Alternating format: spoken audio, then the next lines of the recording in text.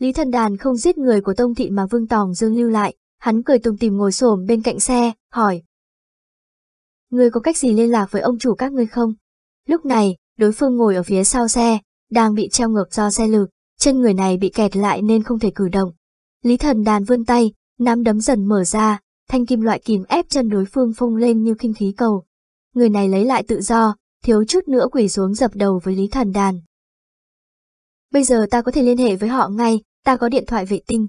Lý Thần Đàn nghe vậy thì gật đầu cười. Vậy ngươi gọi cho hắn, nói hết những gì người kia nói cho Tông Thị, nhanh chóng báo tin đi. Được được. Lúc này, người của Tông Thị hoang mang lo sợ, người khác kêu cái gì hắn làm cái đó, cũng chẳng biết uy lực thôi miên của Lý Thần Đàn, có thể nói, hắn đã hoảng loạn quá rồi. Lý Thần Đàn nhìn vào mắt đối phương. Một sơ phàm giả lái đoàn tàu hơi nước tấn công các ngươi, hắn bảo sẽ tìm Tông Thị báo thù, vàng cũng bị hắn cướp mất. Điện thoại đã thông, người của Tông Thị cuống quýt nói một phen, đầu dây bên kia không nói gì, nghe xong chỉ im lặng cúp mắt. Lý Thần Đàn thở dài. Chẳng nói gì hết, thôi được rồi, hết chuyện cho ngươi làm, tự kết liễu đi. Lý Thần Đàn vừa nói xong, đối phương khập khiễng đứng dậy, lao đầu vào một tảng đá, tự vấn. Hồ Thuyết đứng bên cạnh nói. Tại sao ngươi làm vậy? Ông ngoại. Lý Thần Đàn cười nói. Lỡ mà tạo ra phản ứng dây chuyền thì chẳng phải chơi càng vui à. Hồ Thuyết nhìn Lý Thần Đàn, lúc nghe thiếu niên nói tới chỗ chơi càng vui, nội tâm ông đáng chát. Ông biết tính cách cháu trai nhà mình có vấn đề, cũng biết rõ lý do vì sao thằng bé như thế. Đại đa số những người trải qua những chuyện đó đều khó có thể sống một cuộc sống bình thường.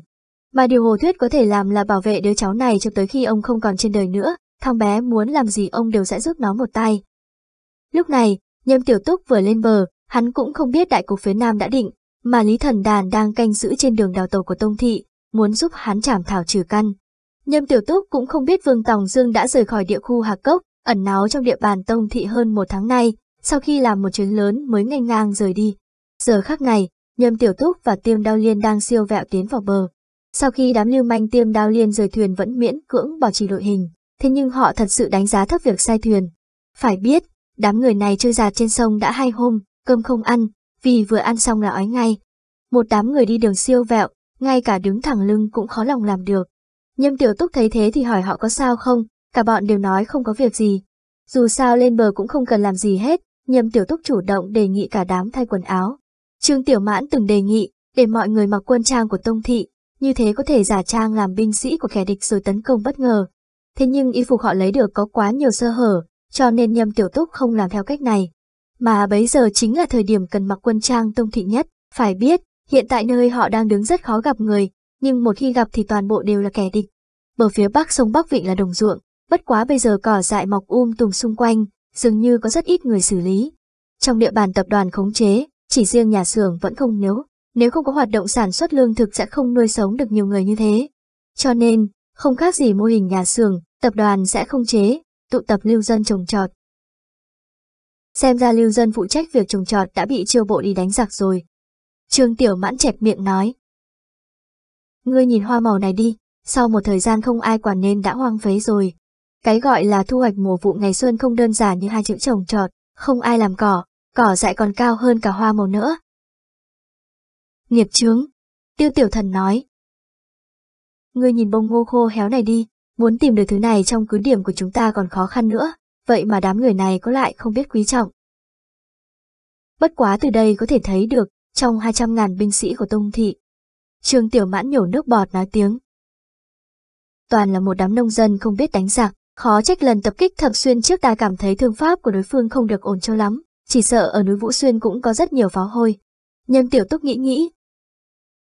Lưu dân nơi này được chiêu mộ, e rằng là vội vã rời đi, quần áo vẫn còn ở đây, chúng ta thử tìm rồi mặc vào, sau đó đi tìm quân trang tông thị sao. Quần áo của lưu dân dễ tìm hơn, Trương Tiểu Mãn trả lời. Nhưng quân trang tông thị thì không, có tìm cũng phải tìm đồ cho sạch sẽ, không thể dính máu. Ngươi xem thử có thể bắt sống binh sĩ tông thị không? Nhâm Tiểu Túc nhìn Trương Tiểu Mãn một cái.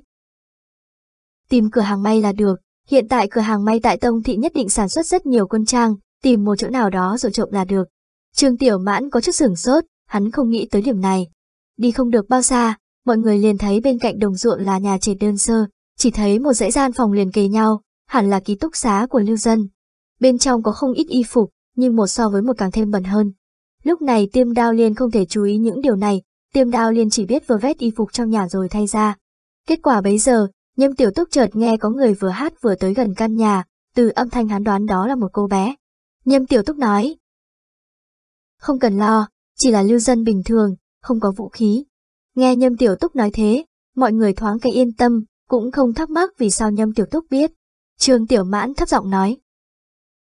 Chỉ sợ là lưu dân trốn ở đây để tránh chiến tranh, không nên đánh rắn động cỏ. Bây giờ chúng ta là lưu dân, giấu súng trong phòng rồi ra ngoài thôi.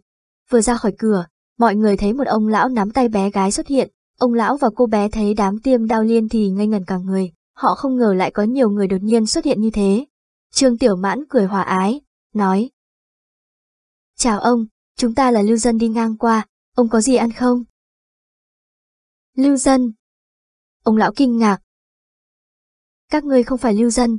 Trương Tiểu Mãn có chút sửng sốt. Sao ông biết? Ông lão run rẩy nói. Ta chưa từng thấy lưu dân nào khiêng pháo cả. Trương Tiểu Mãn quay đầu lại nhìn thoáng qua tiêu tiểu thần, chỉ thấy tiêu tiểu thần vẫn đang khiêng khẩu pháo trên vai, hắn lập tức đá tiêu tiểu thần một cái. Mãi cho tới lúc này, tiêm đao liên mới thoát khỏi trạng thái say tàu. Trương Tiểu Mãn cả giận nói. Sao ngươi vẫn còn khiêng pháo? Tiêu tiểu thần đứng dậy, thầm nói. Đại đội trưởng, ngươi nói để súng trong phòng chứ đâu có nói để pháo trong phòng đâu. Ông lão đứng một bên nhìn tiêm đao liên, không biết nên phản ứng làm sao. Ngược lại, khi cô bé thấy Trương Tiểu Mãn và Tiêu Tiểu Thần cãi nhau thì nở nụ cười. Thế giới của trẻ em đơn thuần như thế đó, chúng vẫn chưa hiểu sự đáng sợ của thế giới này. Nhâm Tiểu Túc nhìn ông lão, hỏi. Hàng rào gần nhất nơi này là hàng rào nào? Hàng rào 144. Ông lão thành thật đáp. Hẳn là nằm ở hướng tây cách 60 km. Nhâm Tiểu Túc nhìn Trương Tiểu Mãn nói. Có thể xác định vị trí chính xác của chúng ta chưa? Có thể. Trương Tiểu Mãn gật đầu. Hàng rào 144 là kho lúa của Tông Thị, hơn 70% ruộng tốt đều ở xung quanh nơi đó. Có thể nói, đây là hàng rào chuyên cung cấp lương thực cho Tông Thị, giống hàng rào 114 của Khánh Thị vậy. Thì ra là thế. Nhâm Tiểu Túc gật đầu. Trước hết chúng ta bắt đầu từ xung quanh hàng rào 144 đi. Đột nhiên Tiêu Tiểu Thần hỏi. Còn ông lão và cô bé này thì sao? Lỡ mà họ đi báo tin thì sao? Ông lão nhất thời nóng nảy. Xin trường quan yên tâm, chúng ta tuyệt đối không báo tin cho Tông Thị. Các ngài tới từ cứ điểm 178, nói thật, lưu dân chúng ta càng hy vọng các ngài tới. Tông Thị đối đãi với lưu dân quá hà khắc nên đã mất dân tâm. Bỗng nhiên nhâm tiểu túc nói. Nếu không phải Tông Thị chiêu mộ hết thanh niên cường tráng ở đây, chúng ta có thể lần nữa tổ chức lại lưu dân, tạo thành một lực lượng vũ trang tấn công từ hậu phương kẻ địch, bao vây hàng rào. Trước kia khi nghe Trương Tiên Sinh giảng bài, ta từng nghe hắn nói về một trận chiến như thế. Lời này khiến đám Trương Tiểu Mãn không khỏi sững sờ, bất quá hiện tại họ không thể làm được. Bên cạnh có người hỏi. Ông lão, nơi này của các người còn thức ăn không? Hơi như vậy là vì họ thiếu lương khô, dù nhâm tiểu túc có mang đồ ăn theo nhưng Tiểu Ngọc Tỷ chuẩn bị phần ăn cho một người mà thôi. Trong suy nghĩ của Tiểu Ngọc Tỷ, những thứ này có thể giúp nhâm tiểu túc chống đỡ hơn 3 tháng ở nơi hoang dã, không cần hắn hao tâm tốn sức tìm đồ ăn. Tuy nhiều nhưng người của tiêm đao liên càng nhiều hơn, đồ ăn chuẩn bị cho một người ăn trong 3 tháng chỉ đủ cho 184 người ăn trong 2 ngày mà thôi. Cho nên, tìm kiếm thức ăn đã là việc lửa xém lông mày với tiêm đao liên. Ngược lại, nhâm tiểu túc có khoai tây dạ thủ, nhưng thứ này muốn xài phải tốn cảm tạ tệ, chỉ dùng khi bất đắc dĩ thôi. Lại nghe ông lão nói.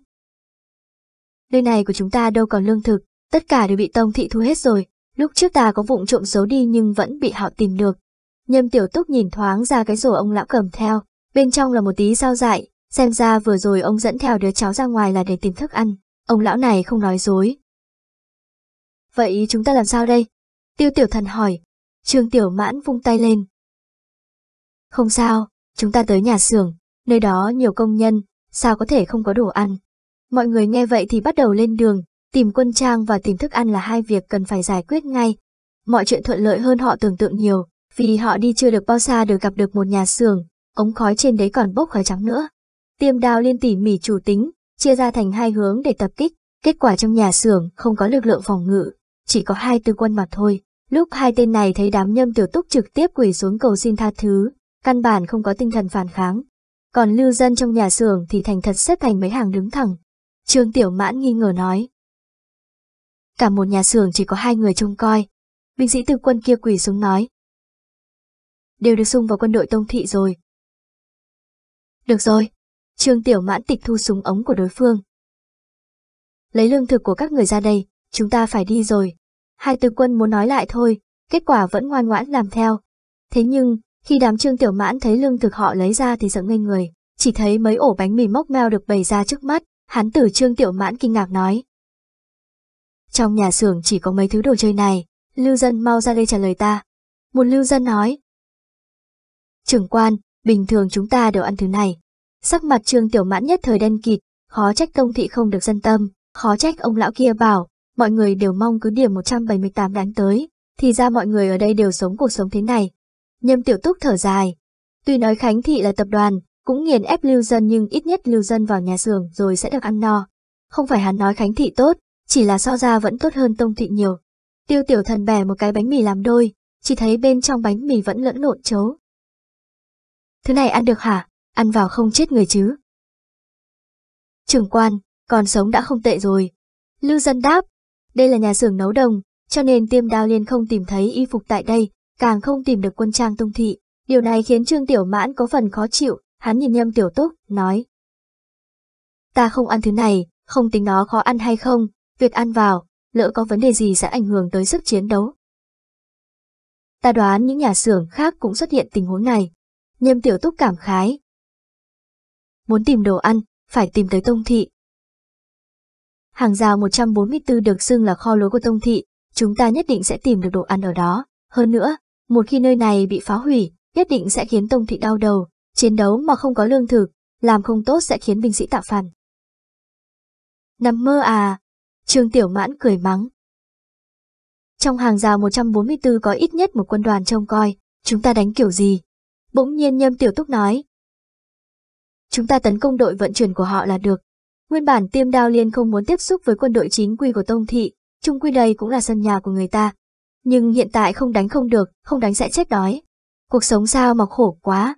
Không ai có thể nghĩ tới, Tông Thị diễn ra một hồi gió tanh mưa máu chỉ vì có người muốn tìm đồ ăn. Hai ngày sau đó, Bộ Chỉ huy Tông Thị nhận được thông báo, một đội vận chuyển đã bị một đại đội của cứ điểm 178 tiêu diệt. Hiện giờ, toàn bộ bộ binh trong quân đoàn của hàng rào 144 đang toàn lực truy sát đại đội này. Khi tướng lãnh tiền tuyến của Tông Thị nghe được tin này thì nhíu mày, vị trí địa lý của hàng rào 144 đặc thù, cứ điểm muốn đánh tới nơi này chỉ có thể vượt sông mà tới. Thế nhưng cứ điểm 178 không có thuyền, cho nên lúc bố trí chiến lược họ cũng không lo lắng về nơi đây. Thật không ngờ hàng rào 144 lại có vấn đề. Bộ chỉ huy gửi công văn tới hàng rào 144, yêu cầu quân đoàn phải tiêu diệt đại đội này, cam đoan đường tiếp tế an toàn. Nhưng công văn gửi đi chưa tới mấy giờ thì hàng rào 144 lại truyền tin, báo rằng công văn đã bị cướp mất. Tướng lãnh hậu cần của bộ chỉ huy giận tím mặt, tại địa bàn của nhà mình mà kẻ địch lại dám đoạt công văn của họ. Tìm, nhất định phải tìm cho bằng được đại đội này, bằng không chỉ huy của quân đoàn này đợi bị cắt chức đi. Kỳ thật mệnh lệnh của tướng lãnh hậu cần này có chút vượt quyền, thế nhưng, từ trước tới nay, người quản lý hậu cần đều là tâm phúc của các đại lão nên không ai nói tên này cái gì cả. Lúc này, kỳ thật tiêm đao liên cũng không đi đâu xa, họ đang trốn trong nhà xưởng nấu đồng kia, dùng vũ lực trông giữ lưu dân tại nhà xưởng, phòng ngừa đám người này để lộ bí mật. Một mặt khác thì trên lương thực cướp được cho lưu dân, dùng để thu mua nhân tâm. Vốn tiêm đao liên còn lo lắng, sợ có chuyện gì ngoài ý muốn, trung quy chủ ý trốn trong nhà xưởng của nhâm tiểu túc thật sự quá to gan rồi. Kết quả, khiến đám hán tử ngoài ý muốn là, không có bất kỳ lưu dân nào có nghĩ tới việc mật báo. Đương nhiên, lưu dân cũng không có cơ hội mật báo. Lưu dân nói, việc mật báo này rất vô nghĩa, dù họ cố gắng hết sức chạy đi mật báo cho Tông Thị cũng chưa chắc họ được thưởng. Có thể thấy được rõ ràng, Tông Thị đối xử với lưu dân rất khắt khe. Thậm chí còn có lưu dân chủ động cầu đám nhâm tiểu túc cho họ súng lục, họ muốn tham gia chiến đấu, hỗ trợ tiêm đào lên đánh Tông Thị. Đương nhiên Trương Tiểu Mãn không đồng ý, nhưng hắn vẫn cảm khái nói. Nếu văn minh khiến con người phải quỳ gối, như vậy con người sẽ cho văn minh thấy thế nào là dã man và bạo lực. Nhâm Tiểu Túc kinh ngạc nhìn Trương Tiểu Mãn. Ngươi cũng có văn hóa ghê nhỉ? Không phải ta nói. Trương Tiểu Mãn cười, đây là Trương Tư lệnh nói đó.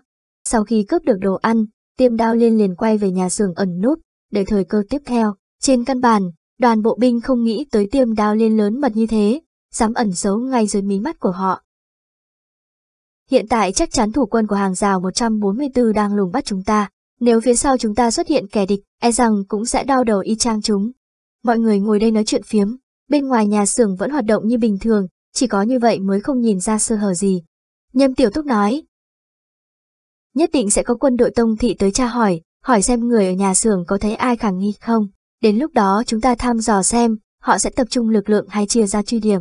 Nếu là cái thứ hai, chúng ta có thể thừa dịp tấn công. Tướng lĩnh hậu cần của Tông Thị rất cam tức, nhưng hắn cũng biết, kỳ thật vấn đề này không quá nghiêm trọng như vậy. Họ đoán được, hẳn là đại đội ở núi Cường Loan đã vượt sông tới đây, nhưng chỉ cần không phải binh sĩ chủ lực của cứ điểm 178 là tốt rồi. Trung quy, một đoàn binh lực vẫn mạnh gấp 10 lần một chi đại đội, nghĩ một tí là biết bên nào hơn. Đoàn bộ binh phái mấy chi đại đội ra ngoài, chỉ giữ lại một doanh để đóng giữ hàng rào 144 mà thôi. Những liên đội khác đi tứ tán tìm kiếm kẻ địch.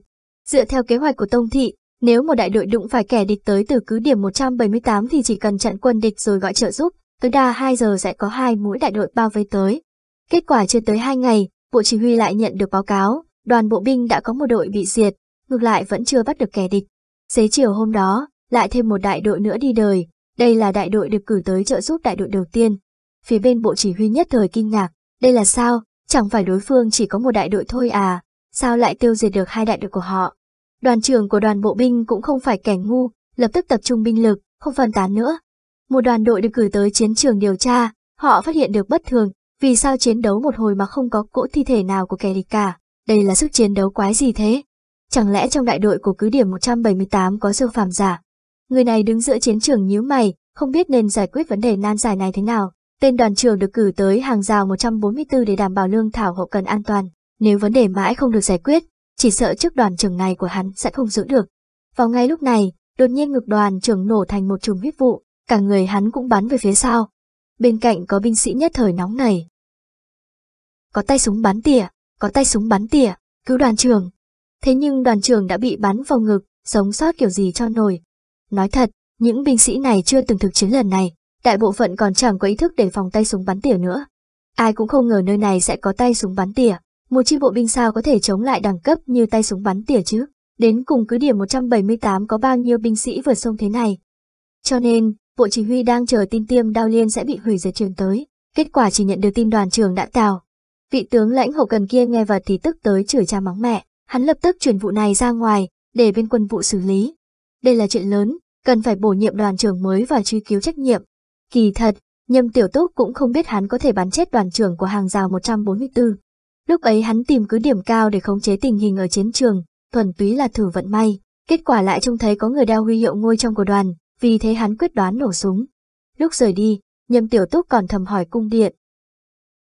Hiện tại kỹ năng súng ống có đẳng cấp gì? Cung điện đáp. Cấp đại sư. Không tệ không tệ, nhâm tiểu túc rất hài lòng. Từ lần bắn chết hai tay súng bắn tỉa trong núi kia, kỹ năng của hắn đã tăng lên rất nhiều.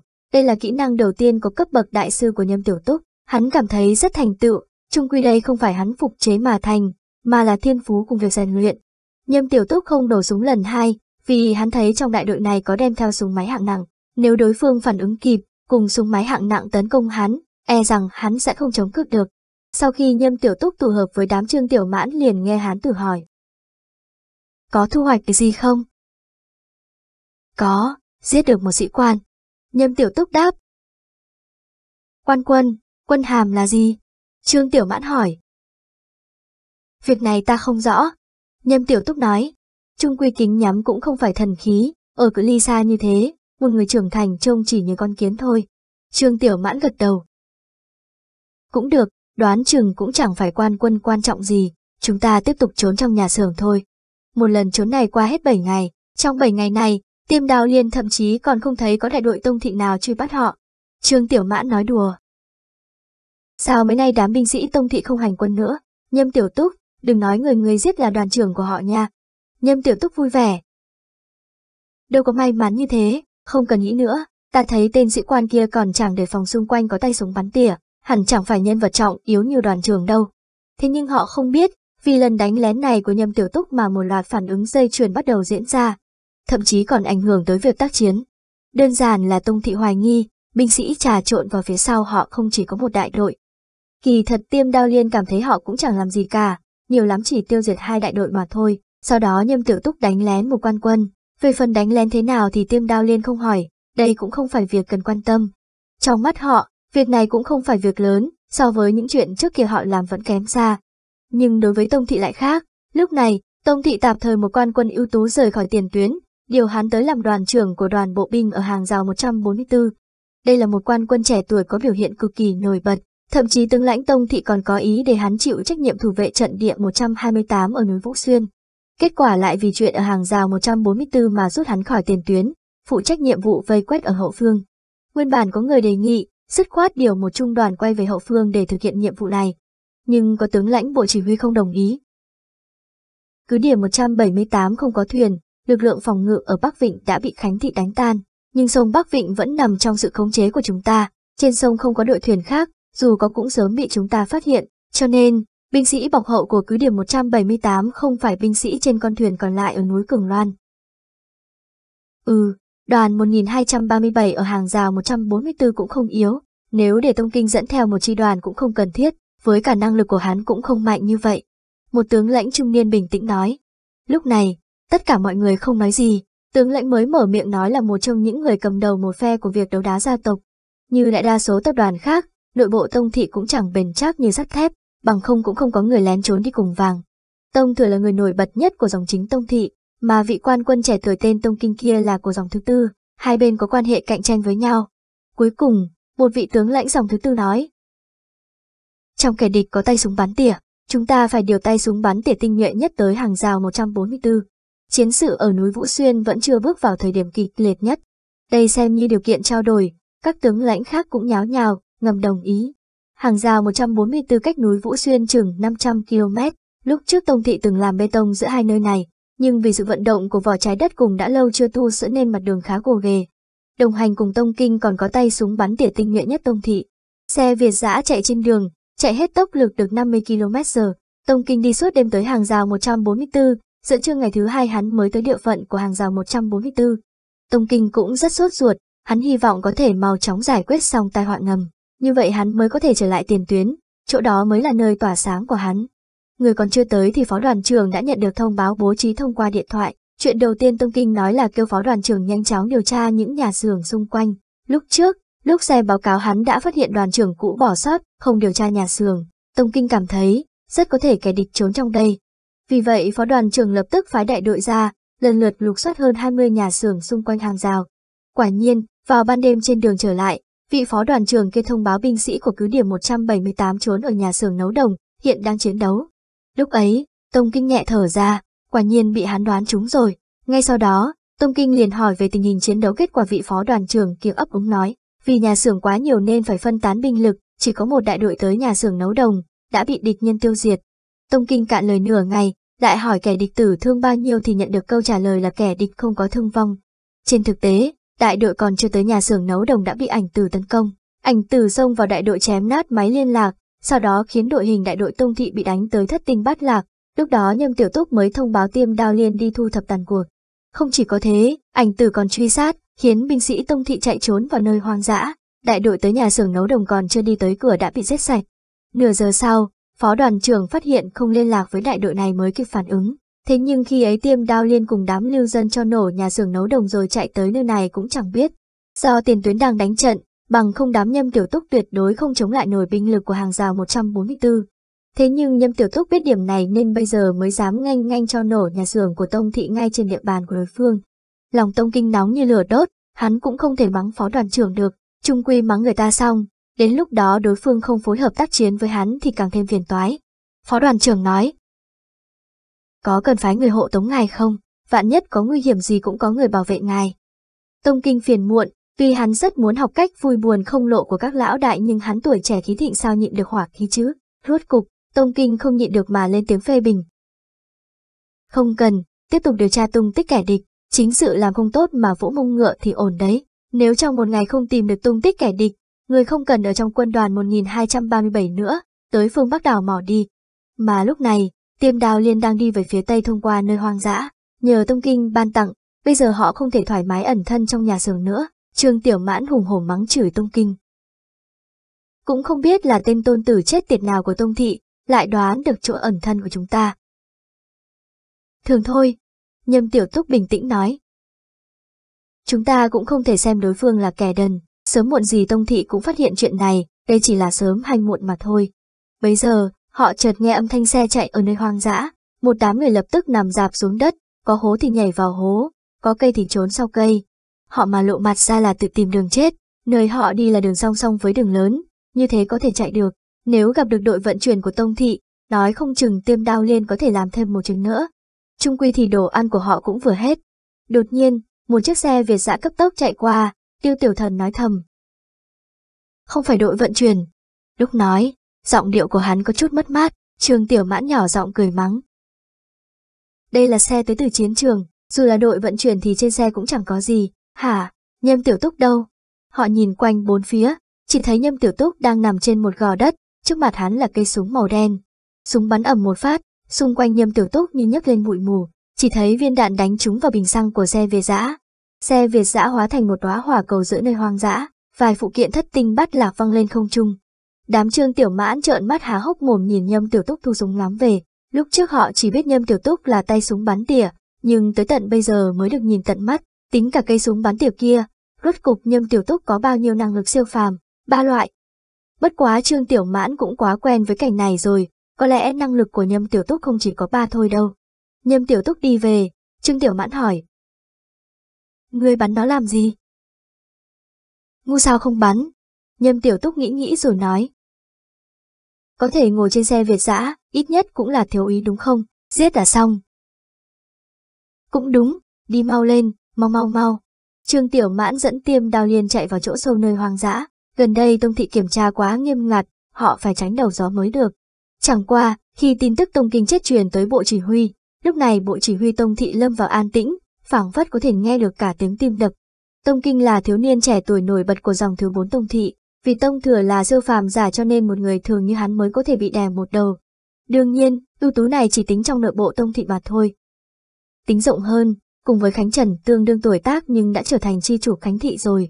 Bất quá, dường như vì chuyện của Khánh Trần mà đoàn chủ tịch của Tông Thị đều cảnh giác với những đệ tử đang khống chế binh lực dưới tay, sợ chuyện của Khánh Thị lần nữa tái diễn tại Tông Thị. Dòng thứ bốn của Tông Thị biết Tông Kinh cạnh tranh không lại Tông Thừa, nhưng họ cũng không mong Tông Kinh chết. Hơn nữa, đi theo Tông Kinh lại là tay súng bắn tỉa tinh nhuệ nhất Tông Thị, phải biết, để bồi dưỡng được một tay súng bắn tỉa như thế, tiêu phí chẳng khác nào đào tạo phi công trước tai biến vậy. Điều phòng trinh sát tới hàng rào 144. Một tướng lãnh trầm mặt nói. Ta muốn chi đội của cứ điểm 178 có đi mà không có về. Ta đồng ý, việc truy kích nơi hoang dã sao cho phòng trinh sát là đúng. Hơn nữa, chiến trường chính diện tại Vũ Xuyên cũng không cần phòng trinh sát nhúng tay vào. Quan trọng nhất là, không thể để chi đội của cứ điểm 178 kia phát hiện kế hoạch tiếp theo của chúng ta. Một tướng lãnh khác trầm giọng nói. Người này vừa dứt lời, thần sắc những người khác trở nên nghiêm nghị hơn dường như kế hoạch này cực kỳ quan trọng. Hơn nữa, hàng rào 144 còn là kho lúa của Tông Thị, quân lương ở tiền tuyến chỉ có thể duy trì chừng 15 ngày nữa thôi. Nếu không nhanh chóng giải quyết chuyện này, e rằng sẽ ảnh hưởng tới việc chiến đấu ở nơi tiền tuyến. Quyết định vậy đi, thông báo cho phòng trinh sát lập tức xuất phát, còn trước đoàn trường, ta đề cử để Tông Hàn tiếp nhận. Thất bại ở sống Bắc Vịnh chứng minh Tông Hàn không thích hợp đảm nhiệm chức đoàn trưởng của một chiến lữ tác chiến, để hắn tới hàng rào 144 đi, Ta đồng ý, bất quá lần này không thể phạm sai lầm như trước nữa, phái đoàn 1237 tới nhanh đón hắn đi. Các tướng lãnh trong tông thị đều không vui, kỳ thật việc này cũng không ảnh hưởng mấy tới toàn bộ tông thị, thế nhưng chi đội phía sau chẳng khác này một cái gai, để thì đau, không rút thì khó chịu. Rõ ràng Vũ Xuyên đã sắp quyết chiến, mà hậu phương họ lại không yên. Nhưng mà, tiêm đao liên như bốc hơi, trong 7 ngày này cũng chẳng ló mặt ra. Khi phòng trinh sát của Tông Thị tới, Tông Kinh bắt đầu triển khai việc truy tung kẻ địch, những người này đều là binh lính tài giỏi trong việc lần theo dấu vết, muốn tìm được một đại đội là chuyện vô cùng dễ dàng. Ví dụ như cành cây bị gãy, phân và nước tiểu đều là dấu vết của việc sinh hoạt cá nhân. Chỉ là khi họ đuổi tới một dòng suối nhỏ thì dấu vết kia đã biến mất. Phòng trinh sát nhận ra tiêm đao liên đã lợi dụng dòng suối nhỏ này mà rời đi, nhưng đối phương đi đâu thì họ không biết. Việc này khiến Tông Thị cực kỳ khó chịu. Việc này chẳng khác nào thấy được một con nhện to đầy lông to chừng bàn tay nhưng vừa chuyển mắt cái lại chẳng thấy nó đâu nữa. Ba ngày sau, Ba nhà xưởng quân sự chuyên về công nghiệp xung quanh hàng rào 145 bị tập kích. Ba nhà xưởng này cũng không phải nơi chuyên về khoa học kỹ thuật nhưng lại sản xuất đạn, lựu đạn và pháo cối. Lực lượng phòng ngự của nơi này tương đối chặt chẽ, nhưng đội binh sĩ thần bí của cứ điểm 178 như đã chuẩn bị từ trước, chỉ trong một ngày đã nổ sạch ba nhà xưởng kia. Đương nhiên, tiêm đao liên có thể hành động nhanh như vậy đều nhờ sự trợ giúp của lưu dân, bằng không họ đâu nhận được tin tức cụ thể về những nhà xưởng này. Sau khi cho nổ, tiêm đao liên lần nữa lợi dụng dòng suối nhỏ rời đi, ẩn thân trong một nơi hoang dã nào đó. Không ít tướng lãnh của Tông Thị tức tới điên người. Xem ra cứ điểm 178 đã chuẩn bị công tác đầy đủ, đám binh sĩ kia không hề vào sông do bất cần, rõ ràng họ muốn bắt trước Khánh Thị, tấn công các nhà xưởng công nghiệp của chúng ta, báo cho những hàng rào khác cố gắng phòng thủ, nếu còn nhà xưởng nào khác gặp chuyện không may, ta sẽ đập chết bọn họ. Trong lúc nhất thời, nhà xưởng công nghiệp của cả phương Bắc đều giới nghiêm, bộ dáng cả đám người như gặp phải đại địch, phân nửa binh lực đóng giữ tại hàng rào được phải đi bảo vệ nhà xưởng. Mà lúc này, rốt cục phòng trinh sát của Tông Thị không phụ sự mong đợi của mọi người, thậm chí còn nhìn thấy thân ảnh của tiêm đao liên từ phía xa xa trên núi. Phòng trinh sát của Tông Thị chỉ thiếu chửi cha mắng mẹ, sao binh sĩ của cứ điểm 178 không di chuyển theo lộ trình gì cả, thích đi đâu là đi đó nhỉ? Từ đầu, phòng trinh sát của Tông Thị đuổi theo còn mò được một ít manh mối và dấu vết, ngược lại còn nghĩ đối phương muốn lừa mình. Thế nhưng sau vài lần truy đuổi thành công, đột nhiên họ cảm giác được đám người này bị mù đường. Lúc trước không phải binh sĩ cứ điểm 178 lừa họ, chỉ đơn giản là đám người này đi sai đường nên nhầm về thôi. Càng như vậy, phòng trinh sát của Tông Thị càng thêm khó chịu. Họ nhận sự công kích của tiêm đao liên nhưng bản thân lại không cách nào dò ra được mạch suy nghĩ của kẻ thù. Vì vậy, khi phòng trinh sát lần nữa dò xét được manh mối, họ nhanh chóng bố trí mai phục, kiên trì chờ tiêm đao liên xuất hiện, về sau họ mới phát hiện tiêm đao liên thật sự quay lại. Đây là làm sao hả? Họ không sợ truy binh, vẫn dám quay lại à?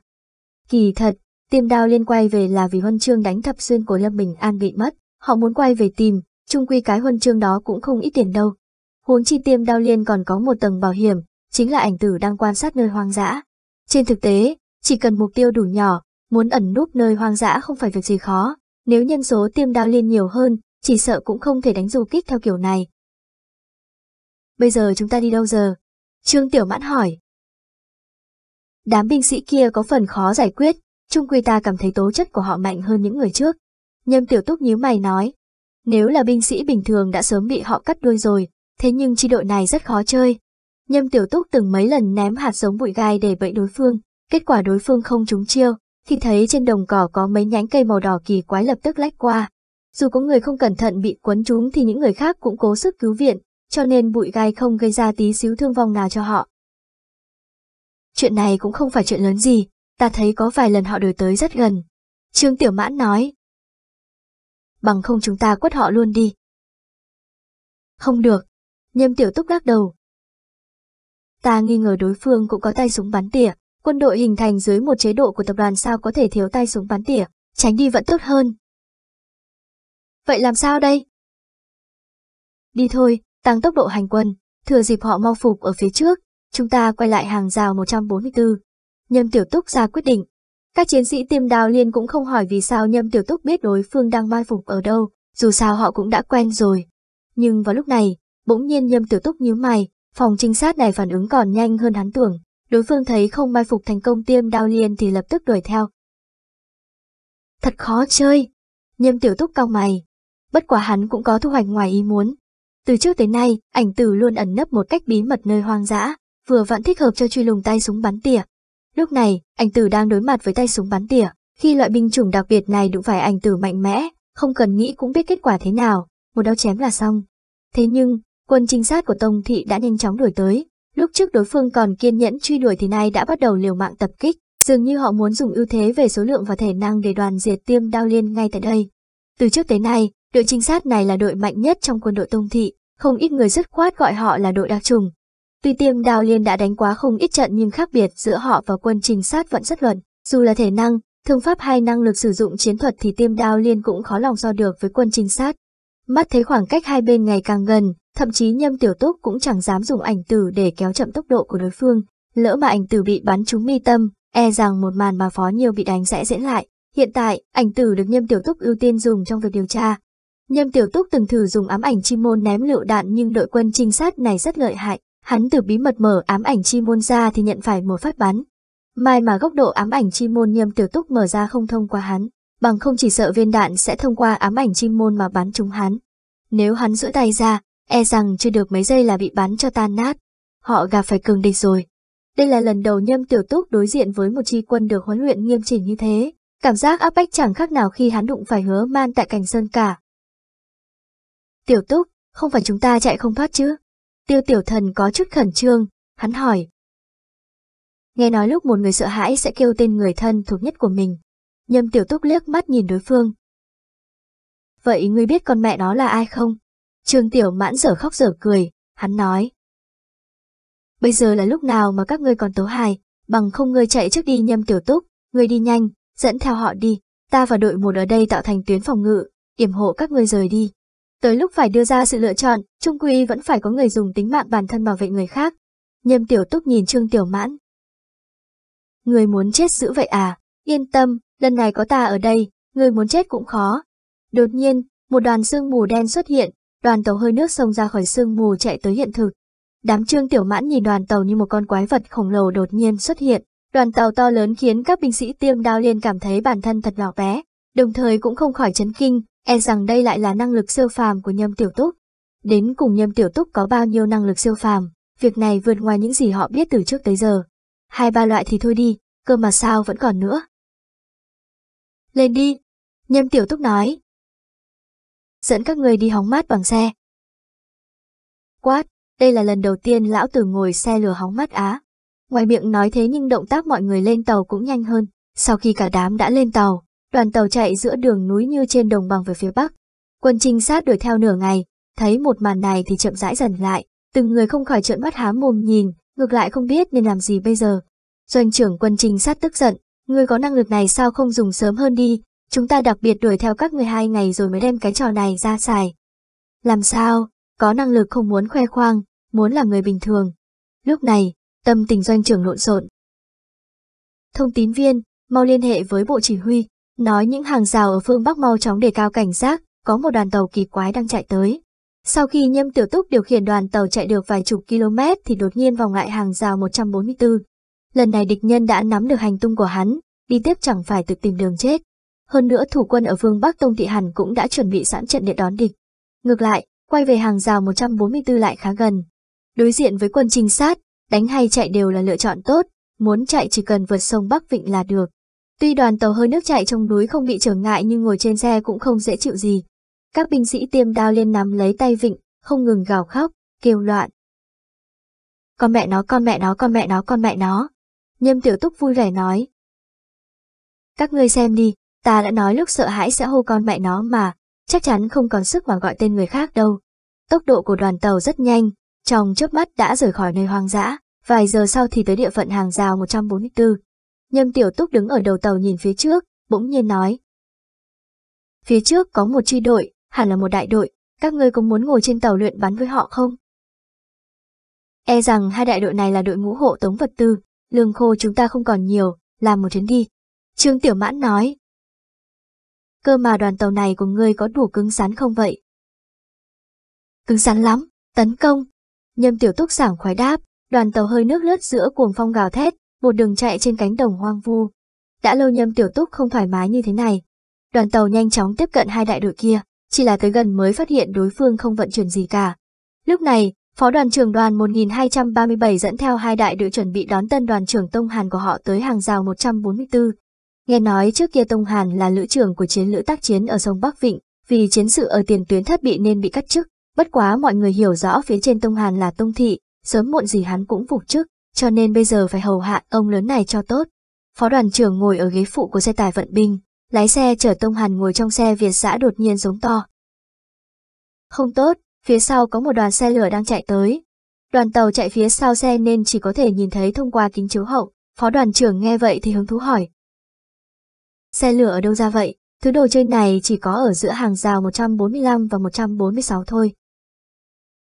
Không phải, thật sự có xe lửa. Lái xe nóng nảy.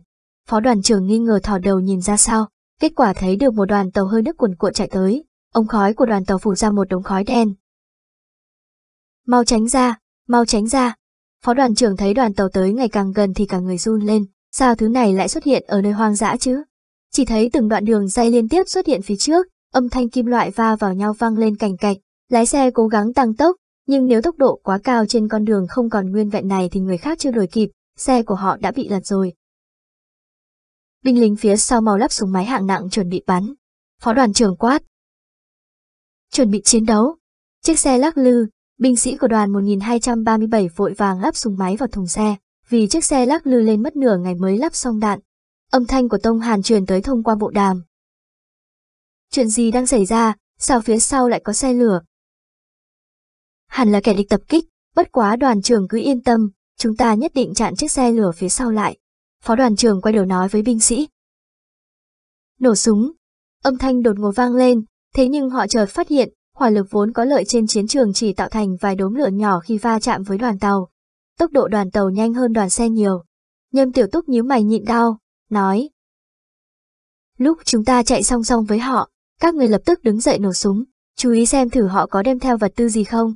Các binh sĩ tiêm đao liên trốn ở dưới cửa sổ của thùng xe, cửa sổ như thành lũy được dựng nên từ thiên nhiên, rõ ràng đang truy kích kẻ địch dưới tốc độ cao nhưng lại mang theo cảm giác đánh lén trong phố chiến. Đội xe của Tông Thị có 10 chiếc xe tải vận binh, một chiếc xe về giã, khi đoàn tàu hơi nước đi song song với đoàn xe, binh sĩ Tông Thị điên cuồng bắn phá nó. Đạn cứ thế nả tới hết ổ, trong lúc binh sĩ Tông Thị đổi dây đạn cho súng máy hạng nặng thì họ chợt thấy ở phía cửa sổ đoàn tàu là từng câu súng trường nhô ra, còn có cả súng máy hạng nặng nhằm vào họ mà nổ súng nữa. Đám binh sĩ tiêm đao liên ngồi xổm dưới cửa sổ, giờ thường rưỡi ra ngoài, ngay cả đầu cũng trả lộ. Một màn này nhìn qua muốn có bao nhiêu quỷ dị liền có bấy nhiêu quỷ dị. Lúc này, binh sĩ Tông Thị vô cùng ngạc nhiên, đây rốt cục là năng lực gì? Họ nghĩ phải lẩn trốn, nhưng vấn đề ở chỗ, ngay cả chỗ núp họ cũng chẳng có. Phía ngoài xe tải vận binh chỉ có một tấm bạc, thứ đồ chơi này làm gì có tác dụng chống đạn. Chỉ trong nháy mắt giao hỏa, binh sĩ Tông Thị trúng đạn ngã xuống một lượng lớn. Nhâm Tiểu Túc đứng ở đầu xe hô. Ta thấy trong đội xe này không có vật ta, chúng ta đi. Nói xong, đoàn tàu hơi nước liền đổi hướng, chạy vào nơi hoang dã. Không phải Nhâm Tiểu Túc không muốn đoàn diệt đám binh sĩ Tông Thị này, nhưng thật sự đối phương bắn vào đoàn tàu hắn cũng thấy đau nha. Lúc này, chỉ thấy mồ hôi lạnh của Nhâm Tiểu Túc ứa ra, trông có phần không gánh nổi nữa. Phó đoàn trưởng đoàn 1237 may mắn còn sống. Tuy hắn cũng trúng đạn nhưng vì ngồi ở ghế phụ lái, có cửa xe ngăn cản nên sức bắn bị chặn lại, đạn bắn lên người hắn cũng không sâu. Tên này cũng tương đối may mắn, sức giật của súng máy hạng nặng quá lớn nên độ chính xác bị giảm, không bắn trúng hắn. Nói chung, khi ấy đầu của binh sĩ tiêm đao liên không lộ thì đánh trúng hay không đánh trúng phải nhìn vào vận khí của đối phương rồi. Phó đoàn trưởng nhớ lại, vừa rồi hắn mơ hồ nghe được tiếng nghiêm tiểu túc cào to. Nói là họ muốn cướp vận tư, chỉ thuận tiện nên mới tấn công đoàn xe của hắn thôi. Phó đoàn trưởng ngơ ngác nhìn đoàn tàu dần khuất xa, đi rồi hả? Đây rốt cuộc là đội binh chủng nào thế? Đột nhiên sắc mặt phó đoàn trưởng đạn biến cầm bộ đàm lên. Đoàn trưởng đâu? Đoàn trưởng có sao không? Người trên xe Việt giã cầm bộ đàm đáp lại. Đoàn trưởng, đã hy sinh vì nhiệm vụ. Vị phó đoàn trưởng này nhất thời khóc không ra nước mắt, cứ điểm 178 có thủ oán gì với đoàn 1237 họ, sao chuyên tấn công đoàn trưởng của họ thế? Mắt thấy chưa tới nửa tháng, đoàn 1237 của họ đã chết mất ba đoàn trưởng. Đây là cố tình, rốt cục đoàn trưởng của họ đã đụng tới ai. Khi đoàn tàu đã đi xa, binh sĩ tiêm đao liên không ngừng hoan hô. Trận chiến này đánh thật là sướng tay, ngay cả cái bóng của kẻ địch ta còn không thấy, ta dám nói đại đội của họ chết ít nhất một nửa, rốt cục chúng ta đã tiêu diệt bao nhiêu đại đội rồi. Để ta đếm xem. Trương Tiểu Mãn vạch đầu ngón tay ra đếm, kết quả sau nửa ngày cũng chưa đếm xong. Đột nhiên Tiêu Tiểu Thần hỏi. Vừa rồi người trên xe về xã có ai chết không? Dường như lái xe không chết, không đánh trúng hắn hả? Vừa rồi bọn họ trốn dưới cửa sổ, lúc đoàn tàu rẽ hướng cũng không ai dám ngước lên thăm dò. Nhâm Tiểu Túc nhớ lại. Hẳn là người ngồi ở ghế phụ lái và phía sau đều chết cả. Cũng không biết là ai chết. Tiêu Tiểu Thần nói thầm. Đoàn trường quan quân lần này có đẳng cấp không thấp, ta đoán là doanh trương. Ha ha, kệ đi. Trương Tiểu Mãn nói. Đánh xong là tốt rồi. Kỳ thật ngay cả tiêm đao liên cũng không biết, trong mơ hồ họ đã giết ba đoàn trưởng của Tông Thị. Trung quy đoàn trưởng cũng đâu nhàn rỗi tới mức không có chuyện gì lại chạy loạn bên ngoài. Bọn họ càng không ngờ, phó đoàn trưởng đoàn 1237 đã sắp xong đời. Khi bộ chỉ huy Tông Thị lần nữa nhận được tin Tông Hàn bỏ mạng, các tướng lĩnh đã tổ chức hội nghị khẩn cấp. Một người lên tiếng. Trong nội bộ chúng ta nhất định có gián điệp, bằng không sao người của cứ điểm 178 lại biết chính xác hành trình của Tông Hàn và phục kích hắn. Không sai, Đối phương muốn đoàn 1237 lâm vào tình trạng không ngờ chỉ huy để nhiễu loạn việc vận chuyển lương thực từ hàng rào 144. Người này nói tiếp. Nhất định có nội ứng ngoại hợp, để lộ tin tức về Tông Hàn. Đột nhiên, một người trung niên nhìn về tham mưu dự thính lân. Người vừa nói kẻ địch tập kích họ bằng gì? Đoàn tàu hơi nước. Tham mưu tác chiến đáp. Tướng lãnh trung niên cười lạnh. Đây là chuyện tốt của Tông Thừa, ta nhớ hắn từng điều binh phục kích một siêu phàm giả tên Vương Tòng Dương, năng lực của tên này là điều khiển đoàn tàu hơi nước.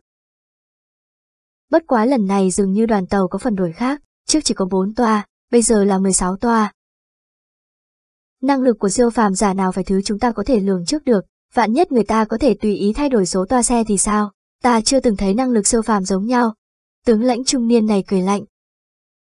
Việc này là tông thừa ăn xong không chửi mép, vẫn là do còn quá trẻ, ta nghĩ không nên cất nhắc hắn quá nhanh.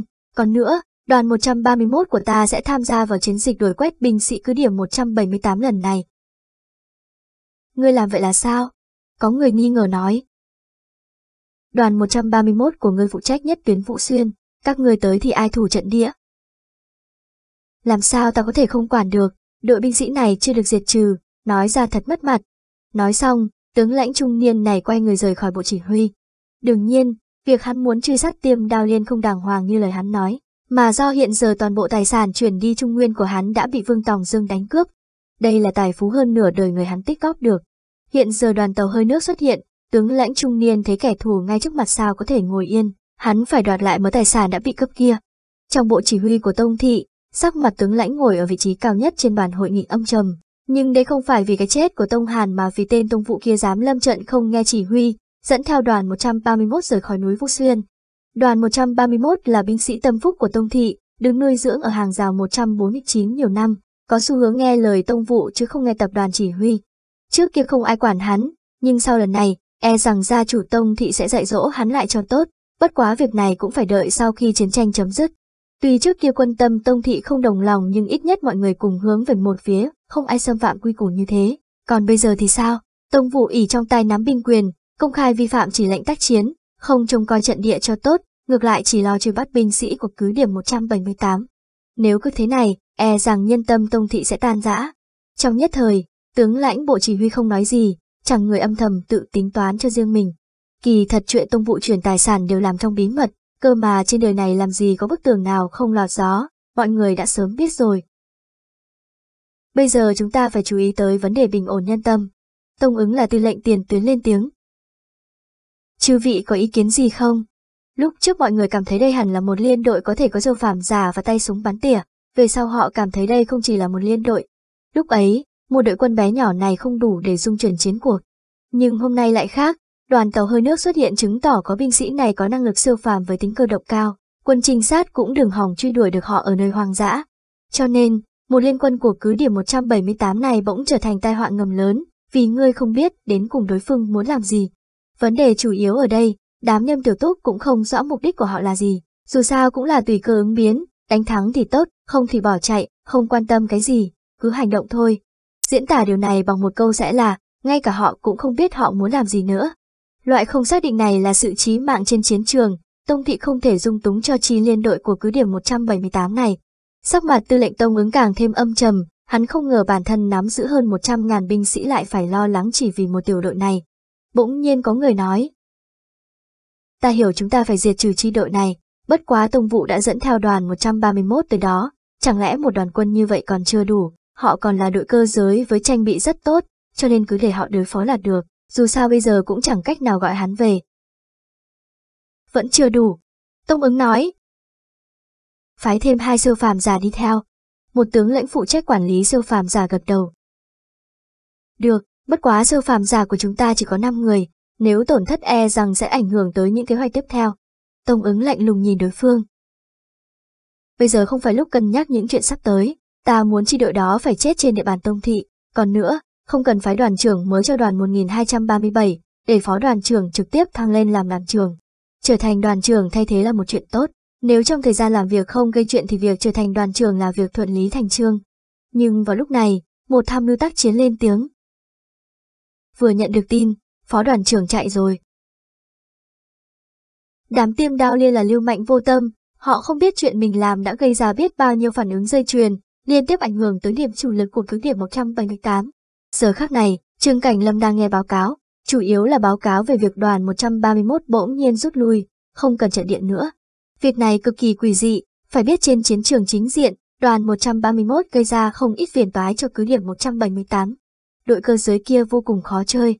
Người phụ trách đoàn thiết lữ 178 như mày nói. Việc này rất bất thường, đột nhiên từ bỏ trận địa, nói rút lui là rút lui, hỏa lực của chúng ta đánh vào trận địa đều đánh hụt cả. Bất quá chuyện tốt là trận địa này đã bị chúng ta chiếm, giảm đi rất nhiều thương vong. Đây có phải âm mưu quỷ kế của đám tông thị không? Chu ứng long nói thầm. Họ từng chôn đồ chấn thập xuyên, chẳng lẽ lại chôn thứ gì trong trận địa? Hồ Hạnh Chi lắc đầu. Ban đầu ta cũng nghĩ như vậy, cho nên đã lệnh cho binh sĩ cướp đoạt trận địa xong thì lập tức kiểm tra, thật sự không có vấn đề gì cả. Vậy thật kỳ quái. Không chỉ vậy, Vương Phong nguyên phụ trách công tác tình báo nói. Các vị cũng biết công tác tình báo của cứ điểm 178 chúng ta tương đối chậm, nhưng phía bên tông thị chúng ta có rất nhiều gián điệp cơ sở, bất quá tầng cấp của họ không cao. Bên này ta nhận được tin tức từ máy liên lạc, bảo quân trinh sát của tông thị đã rút về sau, bất quá cấp của nhân viên tình báo này quá thấp nên không biết lý do. Còn nữa, hẳn lý do tuyến đường vận chuyển vật tư của tông thị bỗng thay đổi cũng liên quan tới việc này. Nguyên bản họ vận chuyển vật tư từ hàng rào 144 nay lại thành thành hàng rào 145. Tiêm đao liên. Trương Cảnh Lâm nói. Ngay khi Trương Cảnh Lâm vừa nói xong, cả bộ chỉ huy yên tĩnh lại. Trương Cảnh Lâm bình tĩnh nói tiếp. Ta cảm thấy, hẳn là tiêm đao liên tạo ra phiền toái không nhỏ cho hậu phương Tông Thị, cho nên họ phải điều quân trinh sát vào đội 131 tới đối phó tiêm đao liên. Chu ứng Long cẩn thận từng ly từng tí hỏi. Tư lệnh, ngươi nghiêm túc hả? Tiêm đao liên chỉ hơn 100 người, làm sao tạo ra động tĩnh lớn như thế? Ta hiểu rõ đám khốn khiếp kia, họ không biết cách nhịn đâu. Nhưng trong tiêm đao liên có nhâm tiểu túc. Trương Cảnh Lâm nói. Có hắn thì chuyện này hoàn toàn xảy ra được, bằng không rất khó giải thích được sự khác thường của Tông Thị. Hơn nữa, quân trinh sát bị điều tới phía sau, tất nhiên muốn tạo thành một mũi nhọn, tốc chiến trong phạm vi nhỏ, trừ tiêm đao liên ra, Tông Thị còn địch nhân nào ở hậu phương nữa. Nghe cũng đúng lắm. Chu ứng Long nói, tất cả mọi người đều hiểu rõ, binh sĩ ở hậu phương Tông Thị chỉ còn mỗi tiêm đao liên, chỉ là mọi người cảm thấy, việc tiêm đao liên có thể làm ra chuyện lớn thế này thật sự khá khó tin. Nếu bài trừ những phỏng đoán không thể xảy ra thì tiêm đao liên là cách giải thích hợp lý nhất. Mặc kệ làm sao họ làm được, cũng mặc kệ họ đang làm gì. Trương Cảnh Lâm nhìn tướng lãnh trong phòng. Chúng ta đều phải tạo thật nhiều áp lực trên chiến trường cho Tông Thị, không thể để họ điều binh đối phó tiêm đao liên, toàn quân tiến lên, như vậy mới có thể trợ giúp tiêm đao liên. Sau đó, chúng ta phải lập kế hoạch tác chiến chi tiết và kỹ càng hơn. Đã rõ.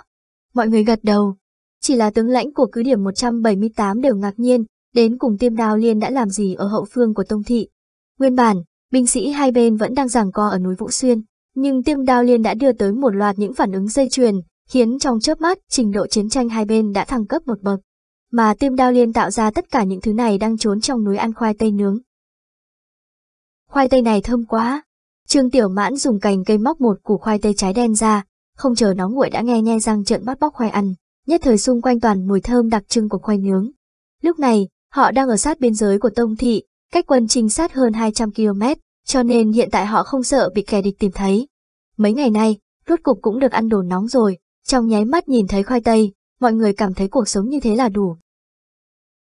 Đi theo nhâm tiểu túc tham chiến thuật kích thích nha, Trương Tiểu Mãn cảm thán. Trước kia ta chưa từng nghĩ tới, sẽ có ngày tiêm đao lên có thể giết nhiều kẻ địch như vậy, ta vốn nghĩ, trận đánh ở Thập Xuyên sẽ lấy đi hơn một người thành viên trong đội. Đúng rồi, nhâm tiểu túc đâu? Phó Nhiêu Hiếu Kỳ hỏi. Nói là đi bắt cá. Tiêu tiểu thần trả lời. Ta phát hiện, đi cùng nhâm tiểu túc dư tời đồ tiếp tế, không sợ bị đó, hắn luôn tìm được đồ ăn.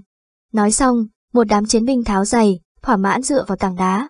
Các binh sĩ của tiêm đao liên thầm nghĩ, đại khái bây giờ họ là đội thoải mái nhất trên chiến trường, hơn nữa còn là tự do nhất. Trốn ở hậu phương kẻ địch, không cần nghe lời người khác chỉ huy, muốn làm gì thì làm. Người nói xem, lần này quay về chúng ta có thể có được nhị đẳng công không? Phó Nhiêu hỏi. Có thể phát cho chúng ta mấy loại huân chương hiếm có không? Ngươi là muốn hỏi, có thể phát cho người mấy cái huân chương đáng giá hơn không hả? Ha ha! Có người cười nói, nhà phó nhiêu nghèo nên hắn có phần tự ti, ngay cả thích con gái nhà người ta cũng không dám thổ lộ, cùng tranh đoạt với binh sĩ ở đội thiết giáp. Kỳ thật, ban đầu tiêm đao liên cũng không bán huân chương, dù sao huân chương cũng là một loại vinh dự, nhưng có một lần, phó nhiêu hỏi, nếu hắn bán huân chương đi có khiến danh dự của cả đội ảnh hưởng không? Mẹ hắn bị bệnh nên cần tiền gấp, dù trong hàng rào có bảo hiểm y tế phụ cấp nhưng mẫu thân hắn phải dùng thuốc đặc chế, hơi đắt. Kết quả Trương Tiểu Mãn trả lời, sao ngươi còn chưa bán, của ta đã sớm bán rồi. Việc này mới khiến Phó Nhiêu an tâm hơn, việc bán huân chương cũng trở thành lệ của của tiêm đao liên. Lúc trước, huân chương Phó Nhiêu bị mất nên phải quay lại tìm, đám Trương Tiểu Mãn không nói hai lời đã đồng, mà huân chương tìm được kia thật ra là của Trương Tiểu Mãn. Trung quy, muốn tìm một cái huân chương nhỏ bằng ngón tay cái ở vùng núi hoang vắng nào dễ như vậy. Bấy giờ, Trương Tiểu Mãn mới phân tích.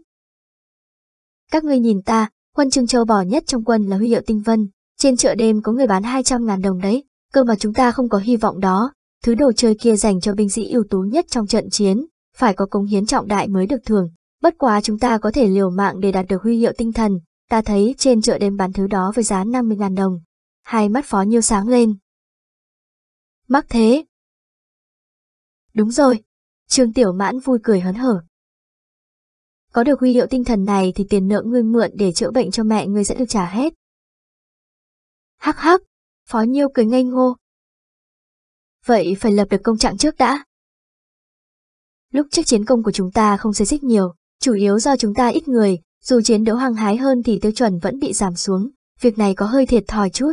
Trương Tiểu Mãn nghĩ nghĩ lại nói. Đại đội chúng ta tiêu diệt có ít nhất 6-7 đội, nhưng hẳn cũng chỉ đạt được huy hiệu tinh huy thôi.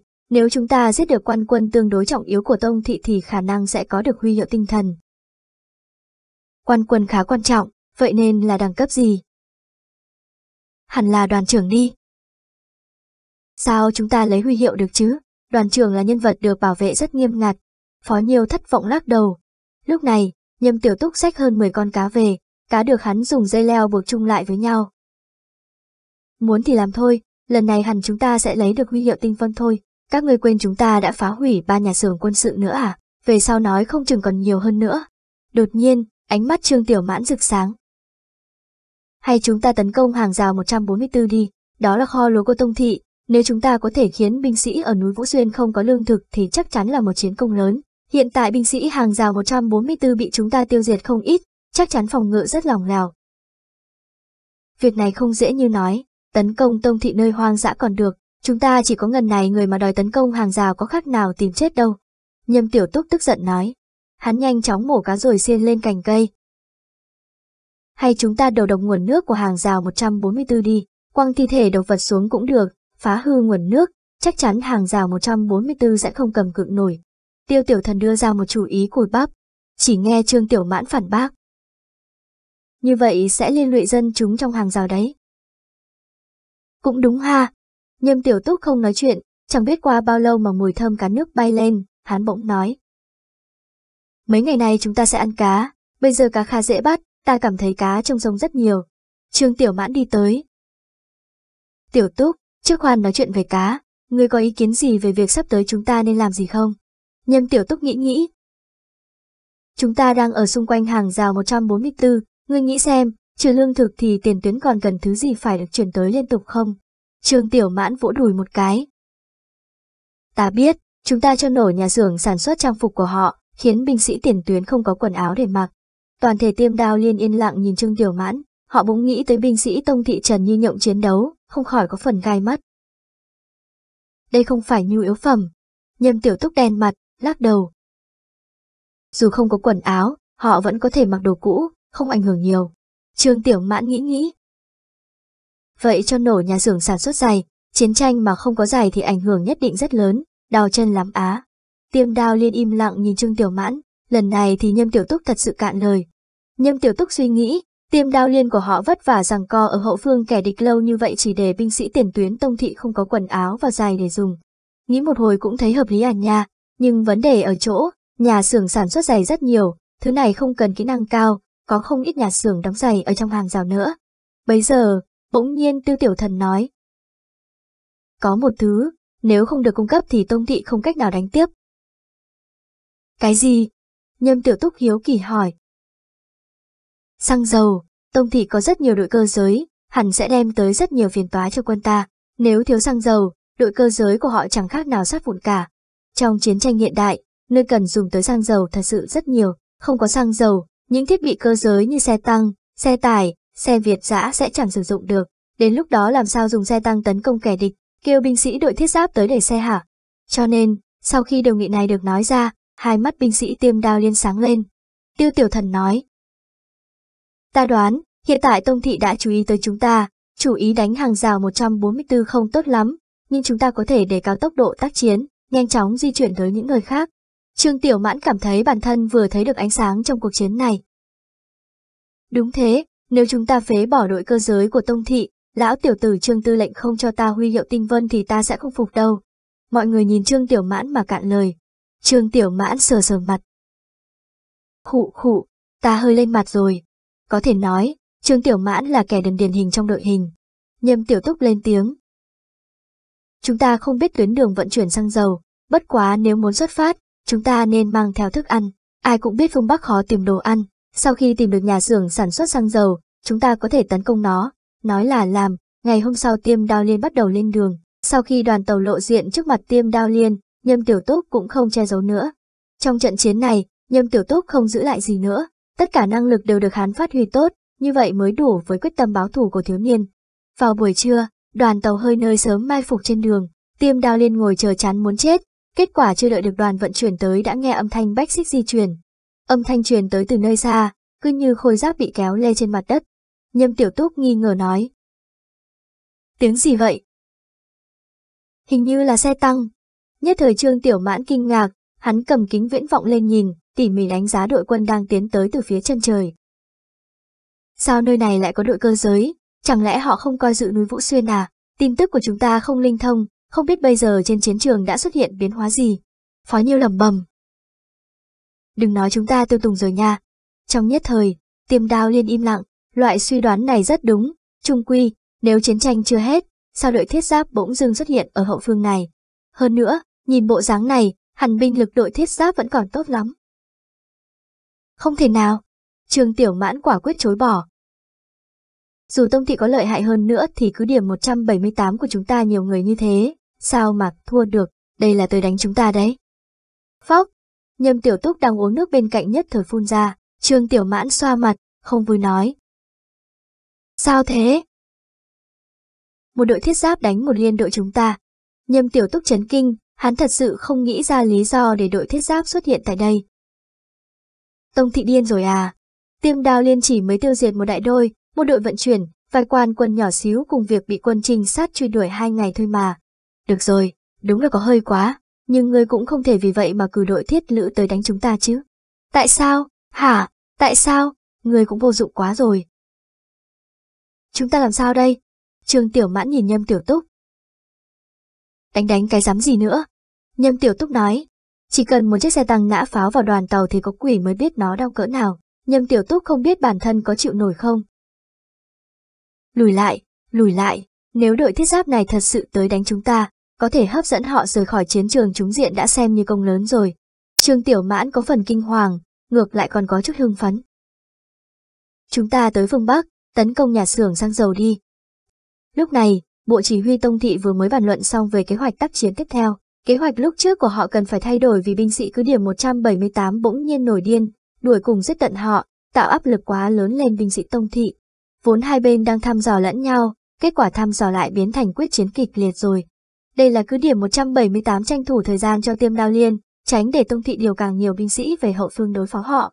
Hơn nữa, họ thật sự làm được. Mỗi ngày, tư lệnh Tông ứng ở tiền tuyến gọi ba lần điện thoại, yêu cầu Tông vụ dẫn đội thiết giáp quay lại. Kết quả Tông vụ không để ý tới Tông ứng, khiến Tông ứng cực kỳ tức giận.